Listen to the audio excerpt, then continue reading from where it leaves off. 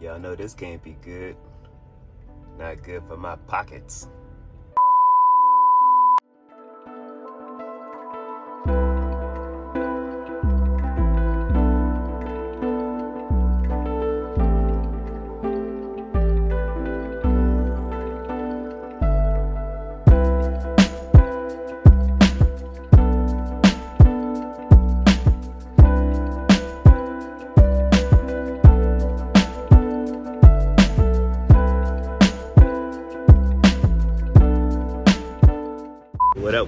Jeff Joseph back with another video. Listen, see the thumbnail, see the title, so you already know what I'm about to talk about. But listen, before I do, make sure that you like, comment, and subscribe. Turn on post notification.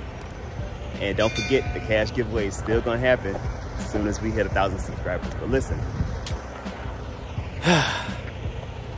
Damn. Gotta get a new tire coming through Memphis was rough. I don't know if I'm the only person who has this issue or who had this issue, but Memphis roads are toe up and they tow my tire up and I gotta get a new one. A new front steer tire. Um, stay tuned if you wanna know how much this, this repair is gonna cost. Uh, it's not cheap, man. It's not, it's not cheap. Y'all, y'all put in the comments below what y'all think it's gonna be. Y'all think 200? 300, 600, 800. Put it in the comments, let me know what y'all think. But I'm gonna take care of this, get Big Bertha back on the road with a fresh new set of front tires, and uh, uh, get back with y'all and run it with y'all about the things I don't like about trucking. There's a couple of things, but I'm gonna talk about the number two things that I really hate about trucking. And um, I didn't know it would be like this going into it. Nobody warned me, nobody told me, but I'm gonna run it with y'all as soon as I get this taken care of. I tell y'all all about the next load as soon as I find out the next load and I get back with y'all. All right, y'all, so just finished up, finally back on the road. Got my guy here, tell me your name, where you from? My name's Caleb. I live over in Roane County, just a little bit small town. Uh, I'm working here while studying automotive engineering. Went a little bit above and beyond what I had to do. Had to drive about 30 minutes, get him as part, but I've got him back on the road, and that's what matters. Yep, yep, definitely went above and beyond, took good care of me, uh, back on the road. Um, one thing I wanted to say, this guy is definitely the epitome of what I always talk about, about keep going and growing. Um, he's not letting anything stop him. He got his associate's degree way before he even finished high school. And I think Yep. that's just a major thing. Like, that's what I always be saying, just keep going and keep growing and, and things will work out better than you even expected. You know, I'm sure he didn't even think about that when he first started No. out. But he got his associates before he even graduated high school, and he has a complete plan of you know what's going to happen next, and you know he got goals and he's going to achieve them. So, you want to shout out your Instagram or your car channel or anything like that? Um, I just got a Instagram account for my car. I put a lot of work into it. It's 14 Mazda Slow 3. Um, on there, just a bunch of pictures of my car. I'm, pla- I'm thinking about actually starting a YouTube channel documenting me actually doing the work itself. It was actually him that gave me the idea. Sure did. so uh, I'm gonna go ahead and leave this information in the description below uh, for y'all to check him out. Make sure that you give him a like, you know, follow his channel and follow his Instagram and everything else like that. So make sure you tap in with my guy. Appreciate you, buddy. Appreciate you.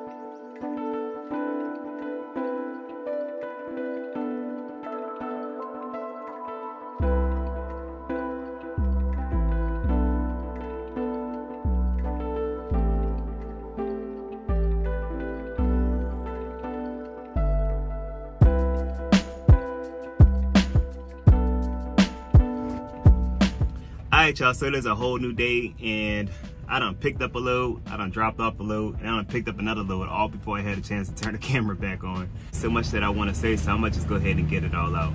So, first things first, uh, how much did that repair cost me, okay? For those of you who guessed $600, um, congratulations because you had the right answer. Um, it actually cost about 620, 618. I'll put something up here so y'all can see. Um, but at the same time, that's the second tire that I had to put on, the front steer tire. I had to get another one two weeks ago. I just didn't show y'all. But uh, two, three weeks ago, I had to get a get one for the, the right side of the vehicle. Um, and it, they're not cheap. The least expensive option that they had, put nicely, that's the cheapest option that they had.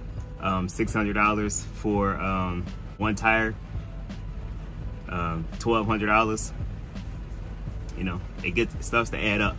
Somebody in the comments gonna say, you know, you could probably just get used tires. You can't get used tires on the front tires at places like Love's or wherever. Like they're not gonna do used tires on the front. You could do used on the back tires all day long, but used on the front tires, they're not gonna do that. You might be able to get away get away with it at um, a local shop, uh, but when you're out OTR, uh, you pretty much gonna have to go to like Love's or I mean, unless you could research and figure out where mom and pops might do something like that.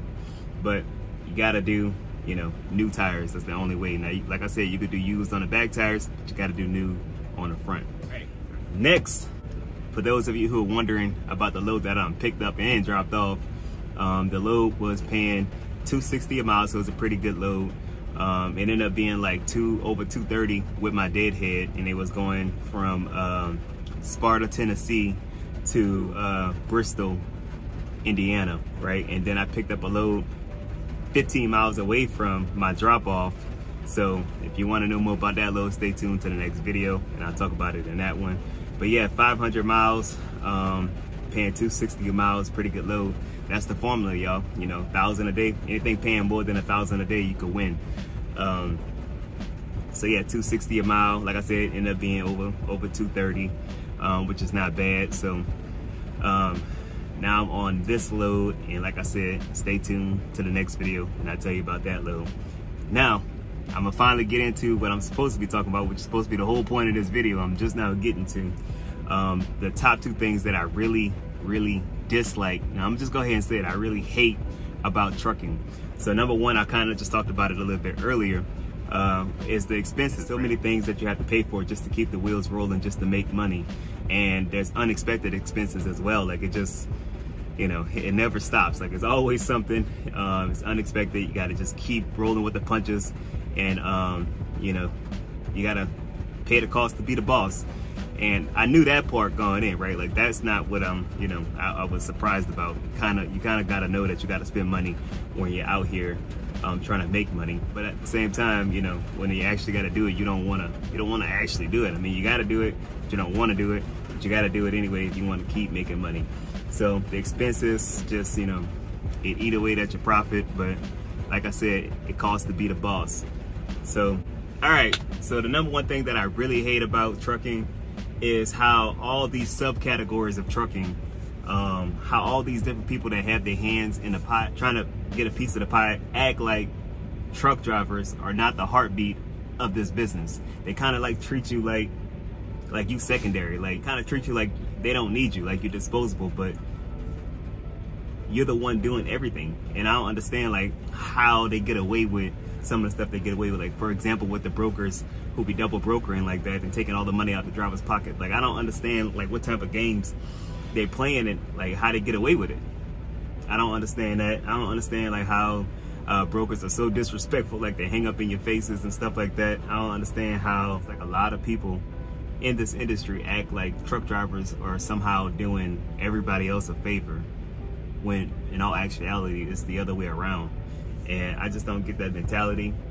Um, I'm overgeneralizing right now. I'm not saying that it's everybody but it is a you know a large majority of the people in this industry who have this mentality and it don't really make sense to me. Like oh comment below let me know your thoughts on this. Like have you ever been disrespected? Um, brokers hanging up in your face and uh, people trying to get over on you and just like I don't, I don't know. Let me know your experiences. Am I, am I, am I the only one out here experiencing this or, or what? But like, I feel like, like they really act like truck drivers are not the, the, the heart and soul of this industry. I mean, it, it's trucking. I, I don't get it.